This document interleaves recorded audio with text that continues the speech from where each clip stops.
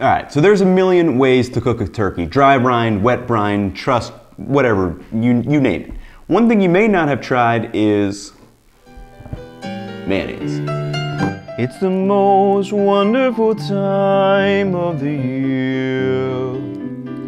There'll be turkey with mayo, boozy shallot, mashed potatoes, weird stuff stuffed in here. It's a slightly untraditional Thanksgiving kind of year.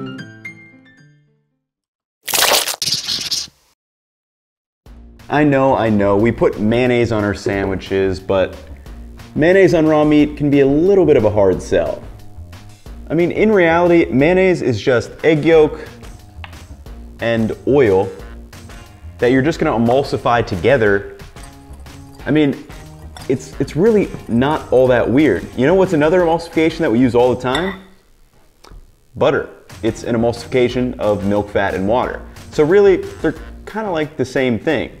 And if you saw my mayonnaise on the steak video, you know you can get a hella good sear, which is gonna help us get extra crispy skin. This turkey recipe is really of the utmost efficiency. No brining or preparation required. Just make sure you set a timer and thaw your bird ahead of time. I say efficiency because in addition to just slathering some mayo to help us get that browned skin right before cooking, we are also going to spatchcock our turkey or remove its backbone.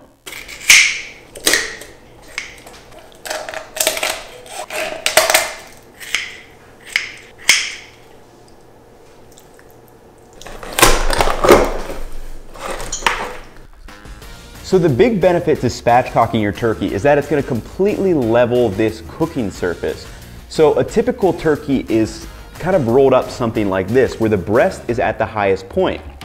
Now what that does is it's gonna cook your breast a lot faster and dry it out, whereas you're waiting on your dark meat to come up to temperature. But with the spatchcock method, it's gonna kind of level everything out. So we're gonna pull this when the breast meat is at 155 and then our dark meat should be at 175 degrees Fahrenheit at the same time, meaning we get juicy breast meat and cooked through for all those connective tissues of the dark meat. So before layering on our mayo, we're gonna come all over this with some coarse kosher salt and fresh ground pepper. And make sure you do not skimp here. No one likes a bland turkey.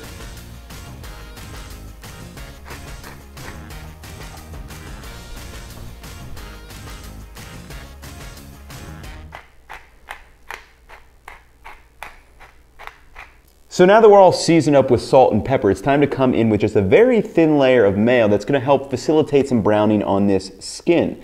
And for right now, I'm just gonna use plain mayo, but I will be adding in some herb mayo with some traditional Thanksgiving classics after it's almost done in the oven. So let me lather this thing up, get it in the oven, and then we'll talk about these herbs.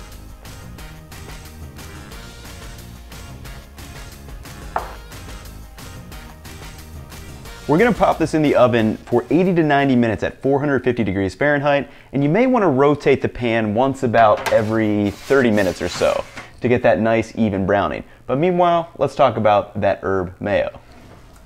Here we have basically the holy trinity of Thanksgiving herbs, which is rosemary, sage, and thyme.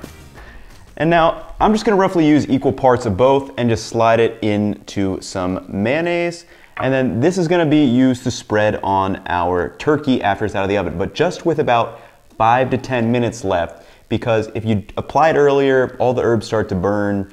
I know because I tested it on a chicken and it, it just didn't work.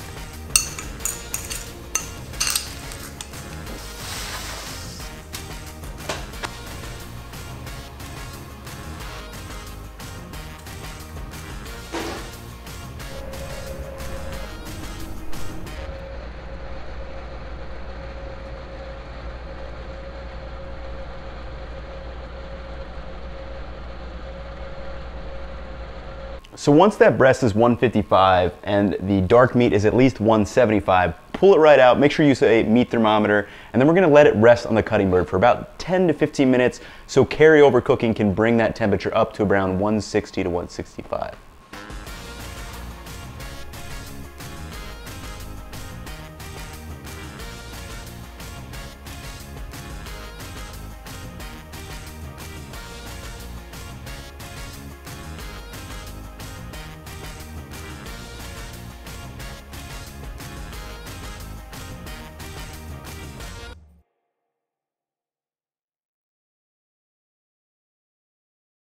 Well, now that we have our turkey done and we have these beautiful sides, there's only one thing left to do, and that is pumpkin pie. Luckily for me, I have one waiting in the kitchen. I got it for you, my dude. No, not you.